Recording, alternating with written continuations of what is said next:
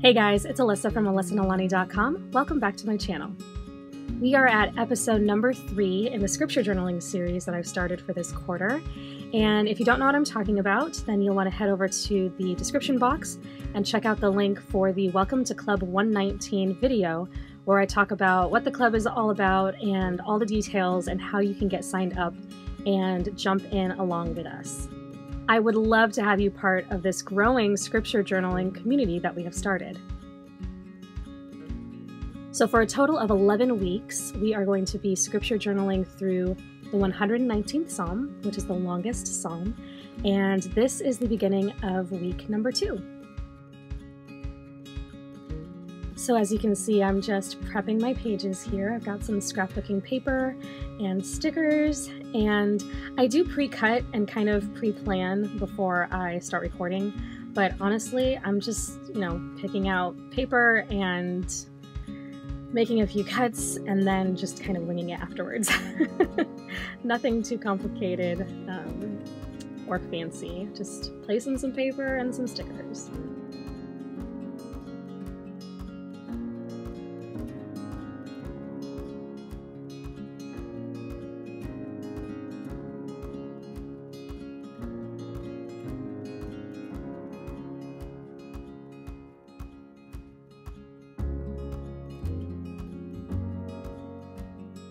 All right, now that I'm actually writing the verses, I'm going to go ahead and read them. And the stanza that we're working through is um, verses 17 through 24. I am reading and writing out of the New King James Version. Deal bountifully with your servant, that I may live and keep your word. Open my eyes, that I may see wondrous things from your law. I am a stranger in the earth do not hide your commandments from me. My soul breaks with longing for your judgments at all times. You rebuke the proud, the cursed who stray from your commandments. Remove from me reproach and contempt, for I have kept your testimonies. Princes also sit and speak against me, but your servant meditates on your statutes. Your testimonies also are my delight and my counselors.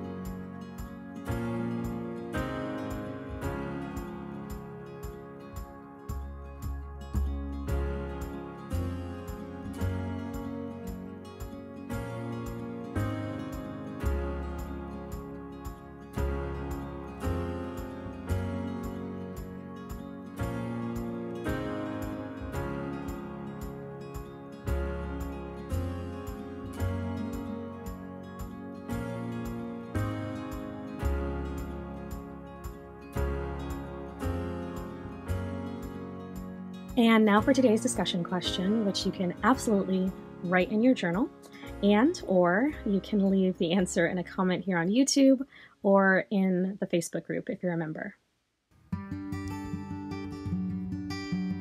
And the question is why is it important to see and understand the law of God?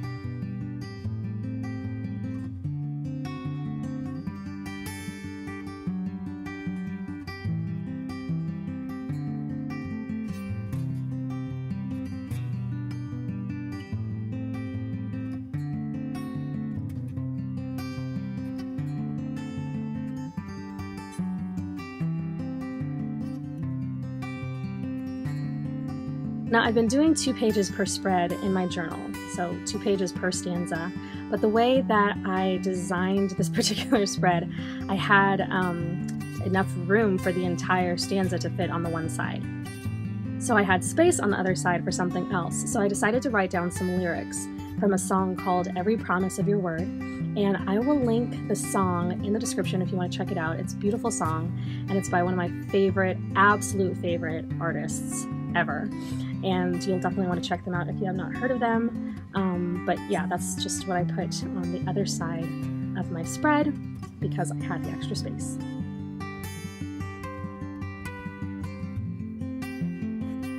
Now, if you're catching the series on this video, then make sure you go and watch the previous two videos um, from the beginning and get yourself caught up. You can find the links for both of those videos in the description. Also, if you're watching this at any time during the summer of 2019, so from July to about mid September, you are absolutely invited to jump in at any time during that period and um, write in real time with the Club 119 community. If you are watching this after uh, September of 2019, then still check out the links in the description. I'll have everything updated because I do plan on keeping this going for as long as I can, and there should be a series going on in real time that you can jump into. You are, of course, free to watch this series um, for Psalm 119 and you know, write along with a series at any point. But if you want to write in community in real time with whatever series is going on, then check the link for the description and see um, where or what series is going on in real time at the time that you're watching this video.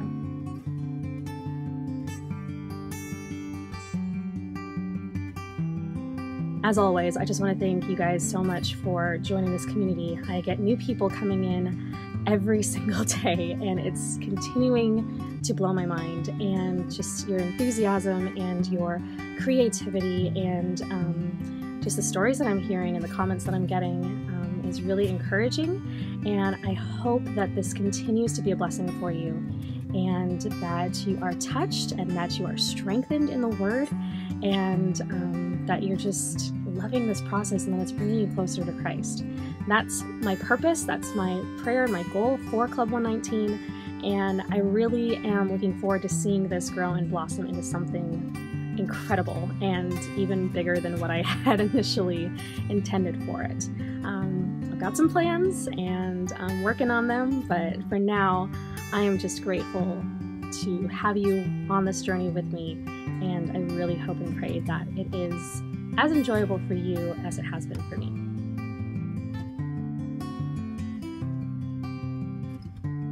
I will see you guys in the next video. Thank you so much for watching and have a great day.